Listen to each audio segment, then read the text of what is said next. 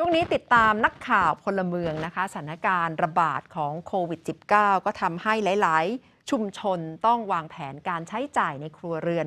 กลุ่มเกษตรกรอำเภอพร้าวจังหวัดเชียงใหม่เข้าร่วมการอบรมนะคะ ถึงการจัดการบัญชีภาคครัวเรือน เพื่อประคองสถานการณ์ในช่วงเวลานี้ค่ะเลขที่ออกเจ็ดศูนย์แปดนี่ก็เจ็ด การฝึกอบรมการสร้างผู้ประกอบการและการจัดการบัญชีครัวเรือน ให้กับพี่น้องเกษตรกร ในพื้นที่ตำบลป่าในอำเภอพร้าวจังหวัดเชียงใหม่ เป็นการเรียนรู้การเพิ่มประสิทธิภาพสินค้าเกษตรหลากหลายรูปแบบ โดยเริ่มจากการจัดการบัญชีในครัวเรือน ราคาในก็วันนี้มาให้ความรู้เกี่ยวกับ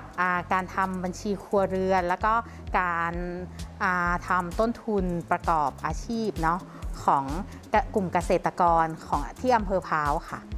วัตถุประสงค์ของวันนี้เนากทำให้เกษตรกรเนี่ยเปิ้ลมีความรู้ในส่วนของว่าอาเปิ้ลจะวางแผนการเงินที่จะใช้ในชีวิตประจำวันจะได้พ่อง ก็คือว่าอ่าถ้าเกิด เปิ้ลเนี่ยมีการวางแผนการเงินที่ดีเนาะเปิ้ลก็จะสามารถเรียงลำดับได้ว่าเปิ้ลเนี่ย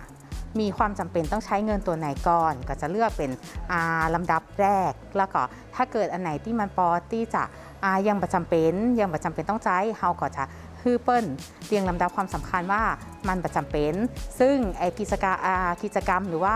การเงินที่เฮาจ่ายออกไปที่มันบ่ค่อยจำเป็นเนี่ยค่ะเฮาก็สามารถที่จะลด รายจ่ายตัวนี้ได้ เพื่อที่จะทำให้เงินที่เฮามีเหลืออยู่ในกระเป๋าเงินเฮาเนี่ยมันมีจำนวนที่เยอะขึ้นค่ะ โดยกิจกรรมในครั้งนี้เป็นหนึ่งในกิจกรรมภายใต้โครงการเชียงใหม่โมเดล ที่เน้นการยกระดับรายได้ และคุณภาพชีวิตเกษตรกร ด้วยการนำเอาองค์ความรู้เข้ามาช่วยเหลือเกษตรกร รวมไปถึงการจัดการบัญชีครัวเรือน ที่ทำให้เกษตรกรสามารถจัดการรายรับ และรายจ่ายได้อย่างเหมาะสม มาอบรมการเรียนรู้เกี่ยวกับรายรับรายจ่ายค่ะ รู้สึกมีความภาคภูมิใจค่ะ ที่ได้มีการเรียนรู้ แล้วเราจะได้